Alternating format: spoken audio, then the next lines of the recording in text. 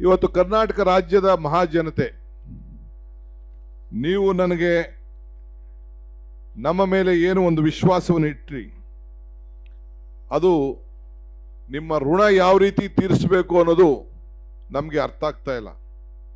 ಯಾವುದೇ ದೇಶದಲ್ಲಿ, ಒಂದು ಸಮಾಜದಲ್ಲಿ ಅವರ ಅರ್ಥ ಮಾಡ್ಕೊಳ್ಬೇಕಾದ್ರೆ ಆ ದೇಶವನ್ನು, ಸಮಾಜವನ್ನು ಅರ್ಥ ಮಾಡ್ಕೋಬೇಕಾದ್ರೆ ಆ ಹೆಣ್ಣಿನ ಮಕ್ಕಳ ಪರಿಸ್ಥಿತಿ, ಅವರ ಚಿಂತನೆ, ಅವರ ಆಚಾರ ವಿಚಾರಗಳನ್ನು ನಾವು ಗಮನದಲ್ಲಿ ಇಟ್ಕೊಳ್ಬೇಕು.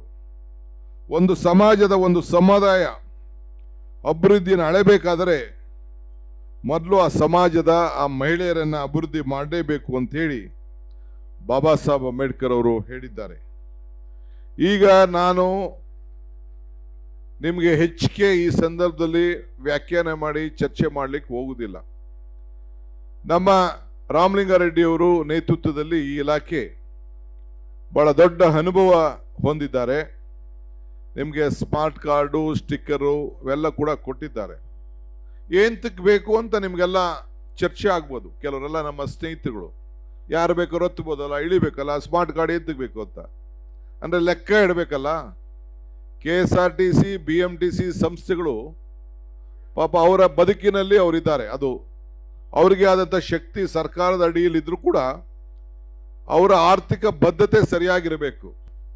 ಅವರಿಗೆ ಸರ್ಕಾರ ಅವರಿಗೆ ಹಣ ಕೊಡಬೇಕು. ಸರ್ಕಾರ ಹಣ ಕೊಡಲಿಲ್ಲ ಅಂದ್ರೆ ಆ ಸಂಸ್ಥೆಗಳು ಉಳಿಲಿಕ್ಕೆ ಸಾಧ್ಯ ಇಲ್ಲ. ಅದಕ್ಕೆ ಲೆಕ್ಕ ಇರಬೇಕು. ನಾನು ಇಲ್ಲಿಂದ ಮಂಗಳೂರಿಗೆ ಹತ್ಕೋತೀನಿ ಇಲ್ಲಿಂದ ರಾಯಚೂರಿಗೆ ಹತ್ಕೋತೀನಿ ನಾನೆಲ್ಲೋ ಇಲ್ಲ ಅಂದ್ರೆ ತುಮಕೂರ್ಗೆ ಹತ್ಕೋತೀನಿ ಎಲ್ಲಿಂದ ಹತ್ತಿಳಿದು ಎಲ್ಲಿ ಇಳಿದೆ ಅಂತ ಲೆಕ್ಕಾಚಾರ ಬೇಕಲ್ಲ? ನಾನಲ್ಲ ಹೆಣ್ಮಕ್ಳು ಹಂಗಂತ ನೀವು ಒತ್ತಕ್ಕೆ ಹೋಗ್ಬಿಡಿ ಆಮೇಲೆ. ಹಾ ಹೆಣ್ಮಕ್ಳು ಅದು ಲೆಕ್ಕ ಇರಬೇಕಲ್ಲ? ಸೊ ಎಲ್ಲಿಂದ ಎಲ್ಲಿಗೆ ಹತ್ತಾರೆ ಅಂತೇಳಿ ಅದನ್ನ ಲೆಕ್ಕಾಚಾರ ಹಾಕಿ ಕೊನೆಗೆ ಸರ್ಕಾರಕ್ಕೆ ಅವ್ರು ಬರೀತಾರೆ, ಸರ್ಕಾರ ಅದು ಕೊಡ್ತಾರೆ. ಇವತ್ತು ಮಾಧ್ಯಮ ಸ್ನೇಹಿ ನಾನು ನೋಡಿದೆ. ಪಾಪ ಕೆಂಪೇಗೌಡ ಇಂಟರ್ನ್ಯಾಷನಲ್ ಏರ್ಪೋರ್ಟ್ನಲ್ಲಿ ಫಂಕ್ಷನ್ಗೆ ಬಸ್ಗೆಲ್ಲ ಬೇಕಾದಷ್ಟು ಅವರ ಕಾರ್ಯಕ್ರಮ ಮಾಡೋಕ್ಕೆ ಬಿ ಜೆ ಪಿ ಕಾರ್ಯಕ್ರಮ ಮಾಡಿದ್ರು, ಸರ್ಕಾರದ ಕಾರ್ಯಕ್ರಮ ಮಾಡಿದ್ರು ಗೊತ್ತಿಲ್ಲ. ಅದಕ್ಕೆ ಬಸ್ಸಿನ ದುಡ್ಡೇ ಕಟ್ಟಿಲ್ಲ ಅಂತ ಈಗ ಮಾಧ್ಯಮದಲ್ಲಿ ಯಾವುದೋ ಒಂದು ಪೇಪರಲ್ಲಿ ಬಂದಿತ್ತು. ನಿಜನಾ ರಾಮಲಿಂಗಾರೆಡ್ಡಿ ಅವರೇ? ಯಾವುದೋ ಬಸ್ಗೆ ಯಾವುದೋ ಟ್ರಾವೆಲ್ ಮಾಡೋ ದುಡ್ಡು ಕಟ್ಟಿಲ್ಲ ಅಂತ ಏನೋ ಬಂದಿತ್ತು. ಆ? ಓ, ಶಿವಮೊಗ್ಗ ಏರ್ಪೋರ್ಟ್ ಯಾವುದೋ ಬಂದು ನಾನು ಪೇಪರಲ್ಲಿ ಈಗ ನಾನು ಫ್ಲೈಟಲ್ಲಿ ಇರ್ಬೇಕಾದ್ರೆ ನನ್ನ ಫೋನಲ್ಲಿ ನೋಡಿದೆ ನಾನು. ನ್ಯೂಸು ಈ ಥರ ಇತ್ತು ಅಂತೇಳಿ. ಬಸ್ಸು ಬಿಲ್ಲೇ ಕಟ್ಟಿರಲಿಲ್ಲ ಅಂತೇಳಿ.